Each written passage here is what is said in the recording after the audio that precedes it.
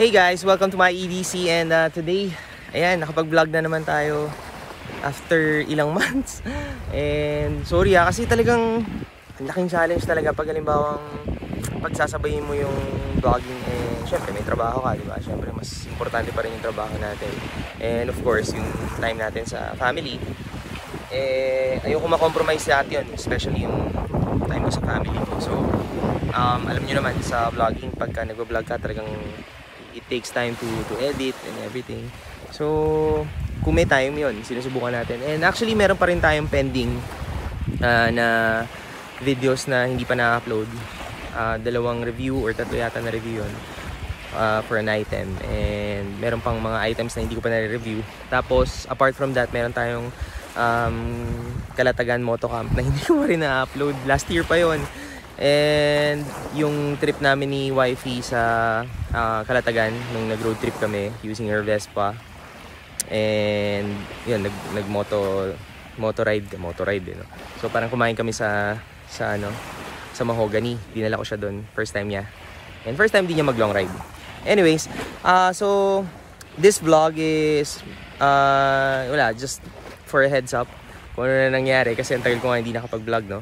And apart from that, um, yun, gusto ko lang i-share sa inyo that this is our second day here in Boracay. I'm in Boracay.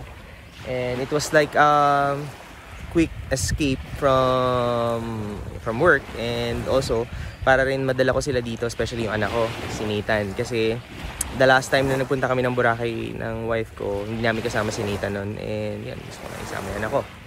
Kasi gustong gusto niya talaga mag-beach. Lagi niyang bukang bibigyan. I want to go to beach. So, yun lang. Um, ngayon, naglakad ako ngayong umaga. It's March 29, 2022. And tinry ko maglakad. Actually guys, kasi nagkaroon ako ng ng ano ng sakit and it's called GERD. So sa iba medyo manageable or sa iba medyo ah GERD lang 'yan.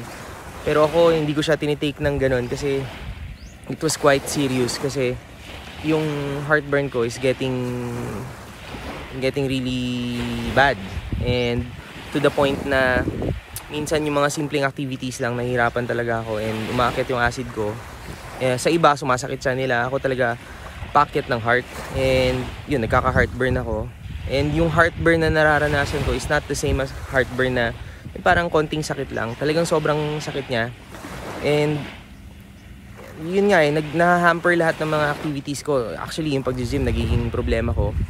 Um, and I've been in battle with this disease for more than 3 months na. O magti 3 months na. So, ang hirap kasi talagang konting exertion lang ng effort or ano, nagkakaroon na ako ng heartburn and sobrang sakit niya to the point na parang may nakadagan talaga sa dibdib mo ng sobra.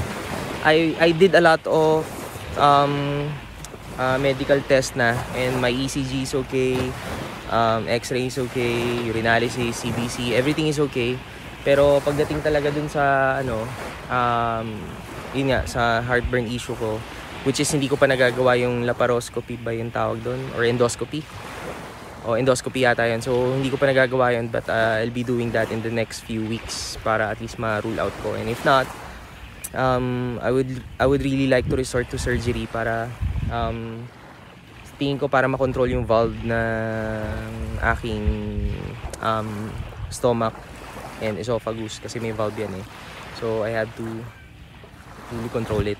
So, kung makikita nyo, medyo wasted yung mukha ko kasi yesterday wala kaming tulog. Hindi kami nakatulog ng wife ko um, kasi gabi na rin ako nakauwi from work. Tapos, uh, we had to pack things up. So, medyo, yun, wala nang time para makatulog. And yung, yung flight namin is 5, 5 in the morning. So, we had to leave like 3, 3 a.m. para just to ensure na, alam mo, pag nasa airport ka, yung pila, di ba? So, yun lang naman. And, just to give you a heads up nga na uh, yun yung ating nangyayari sa ating ano sa ating pagba-vlog and hopefully yung mga subscribers natin hindi nag-unsubscribe no konti lang naman sila ayan so Boracay 2022 uh, dito sa area na to medyo kalmado yung beach medyo may konting algae dito sa kabila kasi especially sa station 2 maraming algae it's algae season so it's understandable normally mga bandang tagulan wala na yan eh kasi Um, maganda yan kasi ito yung lumilinis ng dagat eh. In fact, hindi naman talaga siya dumi. Lumilinis siya ng dagat or siya yung tumutulong para not dagat but siya yung naglilinis ng, ng sand dito sa Boracay. Sabi. And yun. Anyways, thank you guys and hope to uh, see you again more here in our channel, my EDC. Okay. Thank you.